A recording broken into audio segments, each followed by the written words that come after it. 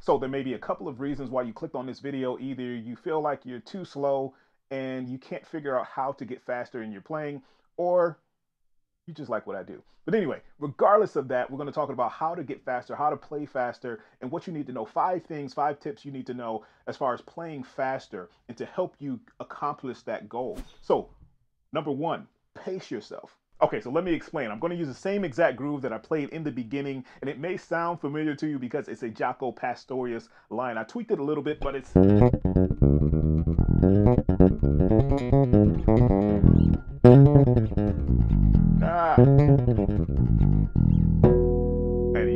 So it's from a Jaco Pastorius line, but I'm going to use this throughout the video. So what I mean by that is when I first started learning this groove, it was a little tough for me to learn and to play because of the double notes. My right hand had to work a little bit harder than it's used to.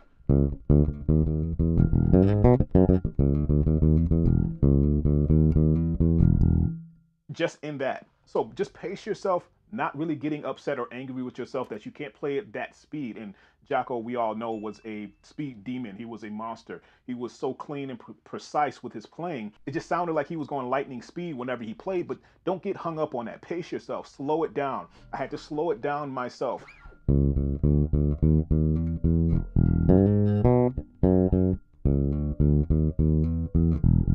Until I can get it up to speed. So just pacing yourself, taking it slow, not worrying about how fast you're going and you know how quick you're going to get there. So pace yourself. That's number one. Number two, I mentioned it already. Play clean, clear, and precise. It's something that I always say every single time. If you've been watching for any length of time, at the end of every single lesson, I say make sure your notes are coming out clean, clear, and precise. I don't know how that happened. That's just been my thing.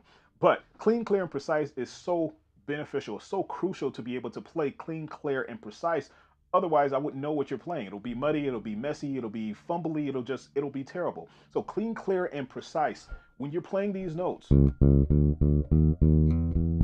So the misconception, let me go off topic for a second. Well, it's not off topic. The misconception that people have when playing fast or having a lot of speed is the fact that you don't need to be clean.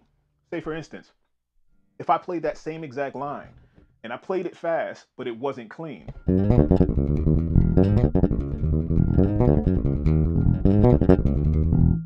I can play it super, super fast, but was that clean? Absolutely not. So clean, clear, and precise so I can hear every single note that you play, or you can hear every single note that you play and identify what you're playing. Okay, so clean, clear, and precise, that's number two. Well, that's three words, but that's number two. I always like to gather those together clean, clear, precise. Boom. Let's go to number three. So, the third tip you need to focus on when trying to achieve a faster speed is playing with space.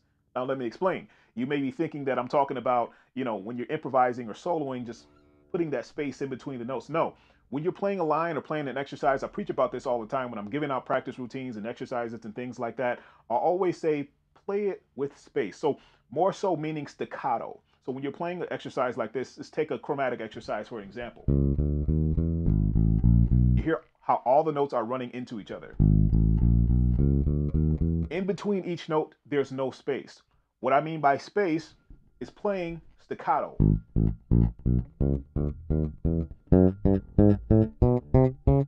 Trust me, it sounds weird, it feels weird, but in the end, your notes will become more separate. And when you get to that lightning speed, you'll be able to hear every single and identify every single note that's coming out. So practicing with that space in between, just lifting up in between each note will get you ready for those fast, crazy.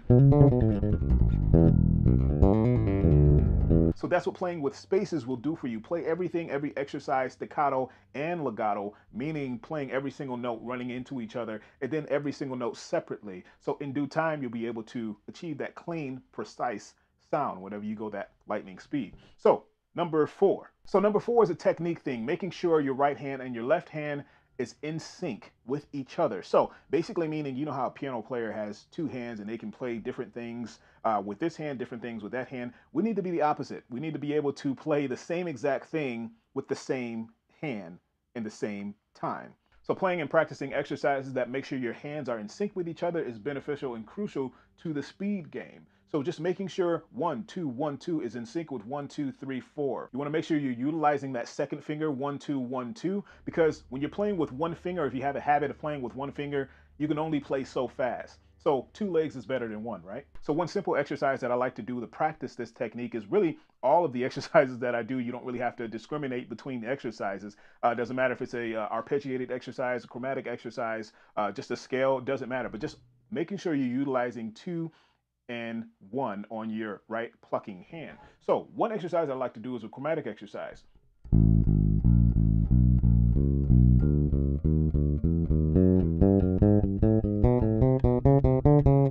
That will increase the dexterity on your left hand or your fretting hand, but also utilizing one and two. So just a chromatic exercise doing two, one, three, two, four, three, right? And then one, four, back to the same string, back to the original string. And then you start the process all over again. Two, one, three, two, four, three, two, one, three, two, four. The same exact thing. You're doing one, two, one, two, one, two here, but you have to focus a little bit harder on this hand. So as long as you're getting that work in, doesn't matter. I like to do a, a chromatic, not a chromatic, but in arpeggiated exercises um, as well.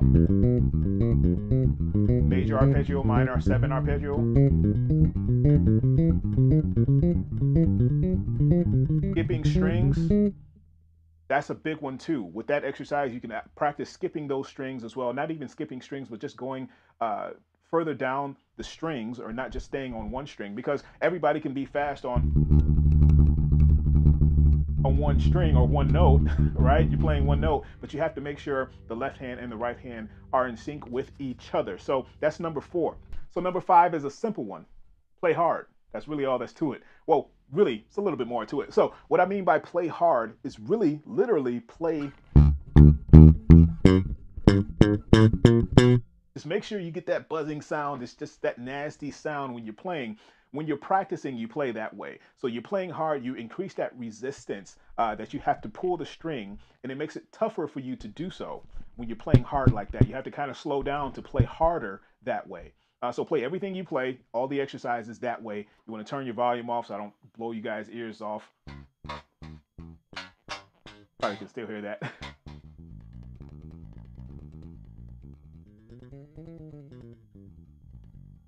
So play hard. Then when you go to play a little bit quicker, a little bit faster, that resistance decreases. Then you have more room or more ability to be able to play faster. So playing hard, you can do this same exact trick with just making sure or, or bringing your action up on your bass, um, just bringing it a little bit higher so your string is away from your fretboard just a little bit more. So you have to work harder to get to it. When you practice that way, then bring it back down. I used to have a bass that you know, the, the action was terrible. The action was very super, super high. So I practiced on that bass, and then I came to a bass that was nicely set up, and the action was correct, the way that I liked it, and I would play that way. And I would see that speed increase over time. So that's the fifth way. That's one way that you can get around doing it. It's really just strength training, really just kind of, uh, you know, almost like basketball players jumping with weights to be able to dunk the ball or to be able to jump a little bit higher or, you know, high jumpers or whatever you want to call them, uh, to be able to jump higher. So they do that to increase the resistance jumping upward. And then once they take the weights off, you jump again and it feels like, you know, you got a little bit stronger. You can jump a little bit higher because you're training so much with that weight on. It's the same way. You're training so much and you're plucking so hard with the strings being higher. Once you go to play it and it's lower and it's a little bit easier to play, you'll be able to see that speed get a little bit faster. So Make sure your notes are coming out clean, clear, and precise, like I mentioned before. If you guys have any questions, you guys know what to do down in the comments. I would love to converse with you guys. You guys are awesome. I love coming back every single week and providing you guys with another lesson, another video, another tutorial. If you haven't subscribed yet, hit that red subscribe button. I'm going to get it one day. It's either here or here. I'm going to figure it out one day. Anyway, uh, subscribe to the channel if you haven't already. Uh, new subscribers, thank you for coming back. Uh, also, hit that notification bell so you get notified every single week. I'm going to start posting a little bit more. To post a little bit more. Let me know what you want to see down in the comments, uh, and I'll catch you guys in the next one. Peace. Oh, first of all, Bass Nation Academy. Check it out. If you want to learn more about these exercises, getting faster, speed, uh, different licks, and different phrases that you can do, check out the Bass Nation Academy. Uh, you get more feedback from me. We got live classes, weekly classes, uh, um, webinars, all that good stuff. Courses, slap course, chords, all of that. Check it out. It's in the description. I'll see you guys in the next one. Peace.